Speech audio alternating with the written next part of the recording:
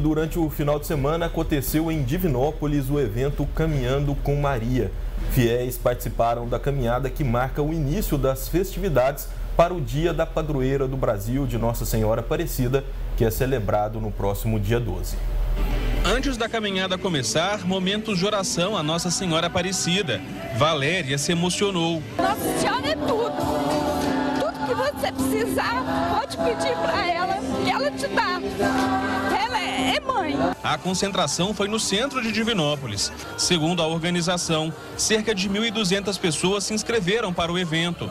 Rosilene trouxe a filha Lívia, de 6 anos. A fé ela tem que ser a base desde cedo, né? Então, a, e a casa é a primeira catequese da criança. Então tem que começar desde sempre, desde o ventre. Então sempre ela está presente com a gente na igreja, na missa, né? Aí baseando sempre na fé. O que, que, você está achando de estar aqui?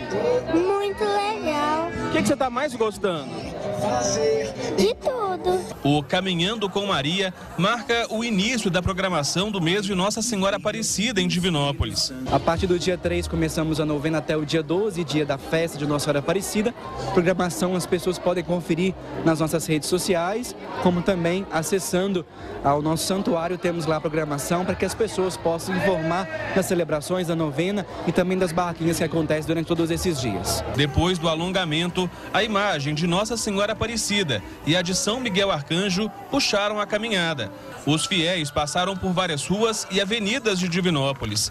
A JK ficou tomada. Nossa, muito bom, muito maravilhoso. Bom demais. Nunca esperava isso, é a primeira vez. Está sendo muito bom. No trajeto, mais momentos de fé. Em frente ao Hospital Santa Lúcia, pausa para orações e bênção especial para os pacientes, acompanhantes e funcionários.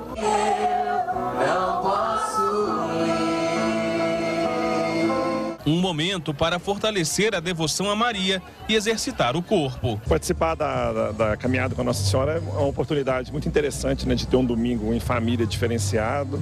Iniciou, iniciou bem cedo, né? E é muito bom, fortalecendo a fé e movimentando-se também. Né? Faz bem, cuidar da fé e do corpo. Sim, com certeza.